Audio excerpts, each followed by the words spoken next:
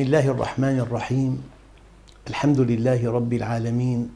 والصلاة والسلام على سيدنا محمد وعلى آل بيته الطيبين الطاهرين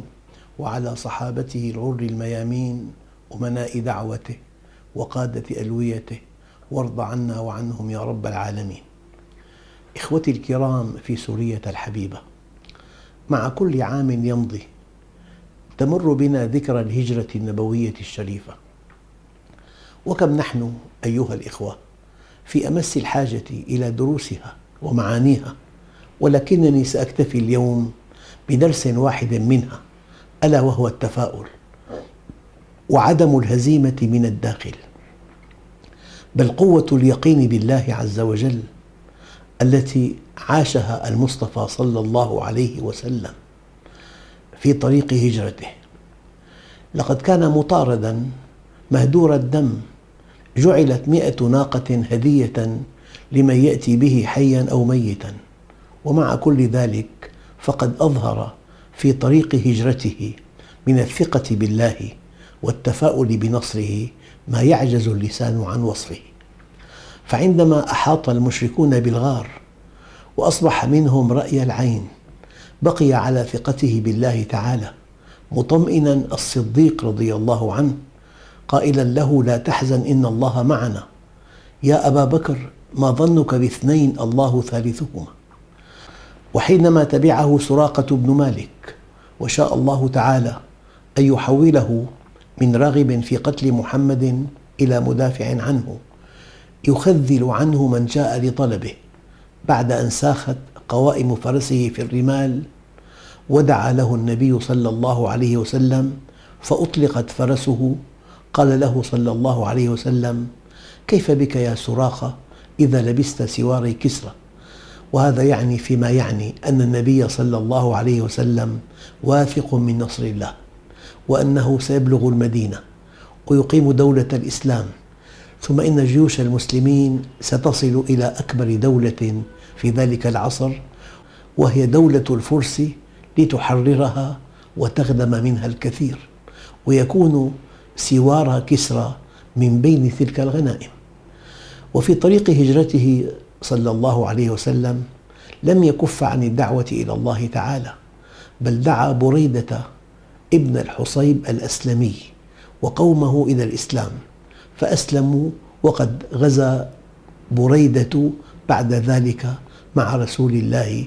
صلى الله عليه وسلم ست عشرة غزوة وقبل وصوله إلى المدينة التقى بلصين من لصوص الطريق اسمهما المهانان فغير اسمهما وقال أنتما المكرمان ودعا إلى الإسلام فأسلما إن كل ما سبق وغيره يبين أن النبي صلى الله عليه وسلم كان متفائلا واثقا من نصر الله في أشد الساعات عسرا وضيقا وعلى الأمة اليوم ولا سيما أهلنا الصابرون في سوريا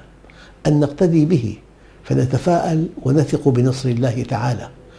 وبوعوده للمؤمنين بالنصر والتمكين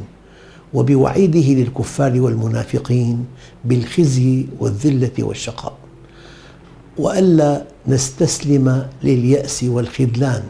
فأخطر شيء أن نهزم من الداخل لأن المهزوم أمام نفسه لا يستطيع أن يقاوم نملة وهذه الهزيمة النفسية لها أغراض وهذه الهزيمة النفسية لها أعراض وأسباب أولاً أعراض الهزيمة النفسية العرض الأول تنحية الشريعة الربانية وتقديم أقوال البشر على هدي الكتاب والسنة يقول الله تعالى وتلك الأيام نداولها بين الناس فالأيام دول والصراع بين الحق والباطل صراع دائم لا ينتهي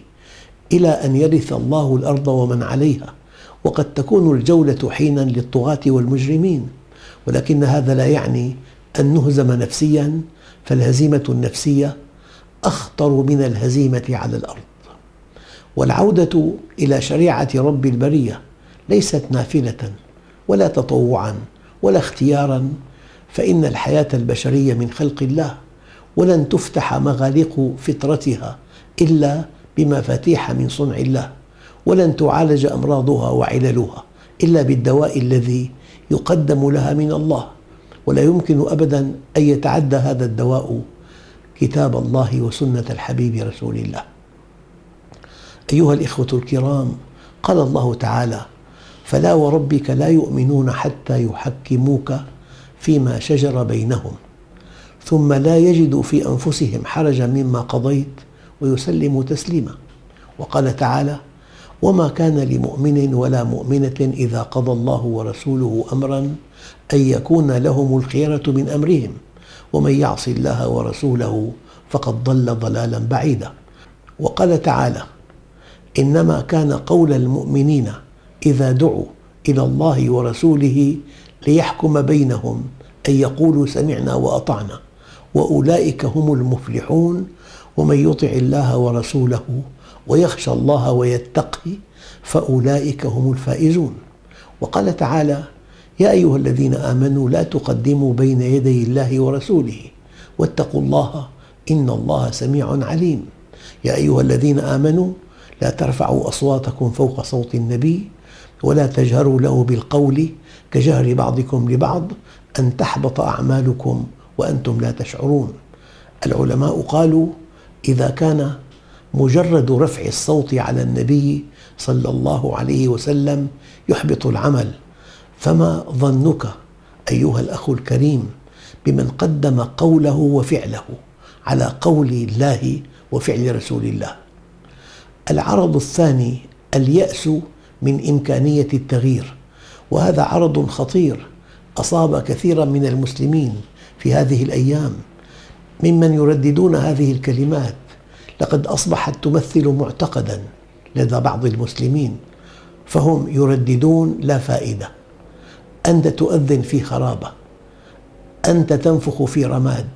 عش عصرك تفرغ لتجارتك ولأولادك ولمكتبك ولكرسيك لوظيفتك هلك الناس إلى آخر هذه الكلمات التي تزيد المهزوم هزيمة والنشيط يأسا وخذلانا وقد شخص المصطفى صلى الله عليه وسلم هذه النفسيات المهزومة فقال إذا قال الرجل هلك الناس فهو أهلكهم الإمام النووي قال أهلكهم برفع الكاف وفتحها أهلكهم أهلكهم والرفع أشهر والرفع أشهر ومعناها أشدهم هلاكا وأما رواية الفتح فمعناها هو جعلهم هالكين لا لأنهم هلكوا في الحقيقة فهذا عرض خطير من أعراض الهزيمة النفسية ألا وهو اليأس من إمكانية التغيير للواقع المر الأليم الذي تحياه الأمة ويريد كثير من أبنائها أن يفرضوا سياسة الأمر الواقع على الناشطين ممن يتحركون لدين الله ودعوة الله جل جلاله العرض الثالث السلبية القاتلة في الدعوة إلى الله والأمر بالمعروف والنهي عن المنكر المسلم يرى أخاه المسلم على معصية يهز كتفه ويمضي كأن الأمر لا يعنيه وفي الحديث الذي رواه البخاري من حديث عبد الله بن عمر قال عليه الصلاة والسلام بلغوا عني ولو آية وفي الحديث أيضا من رأى منكم منكرا فليغيره بيده فإن لم يستطع فبلسانه فإن لم يستطع فبقلبه وذلك أضعف الإيمان فلا عذر لك أيها الأخ الكريم أمام الله عز وجل فنحن جميعا نركب سفينة واحدة فيها الصالح والطالح وإن نجت السفينة نجا الجميع وإن هلكت هلك الجميع كما في حديث النعمان قال مثل القائم على حدود الله والواقع فيها كمثل قوم استهموا على سفينه فاصاب بعضهم اعلاها واصاب بعضهم اسفلها فكان الذين في اسفلها اذا استقوا من الماء مروا على من فوقهم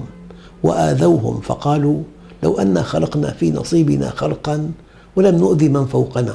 فان تركوهم وما ارادوا هلكوا جميعا وان اخذوا على ايديهم نجوا ونجوا جميعا العرض الرابع وضع الإسلام في موضع الاتهام وهذا عرض خطير فالغرب يثير من آن لآخر بل في كل آن شبهات خطيرة حول الإسلام مثل الإسلام دين إرهاب الإسلام دين تطرف الإسلام ظلم المرأة البيت للمرأة المسلمة سجن مؤبد الزواج سجان قاهر لماذا تزوج محمد تسعة لماذا يتزوج الرجل في الإسلام أربعة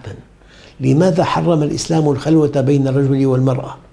لماذا تقطع يد السارق لماذا يرجم الزاني إلى آخر هذه الشبهات فينبغي للرد على هذه الشبهات فريق من الناس بمنطق أن الإسلام متهم فتأتي الردود هزيلة لأنها ردود المهزوم نفسياً اللهم ارحم شهداء سوريا واشف جرحاهم وفك أسراهم والحمد لله رب العالمين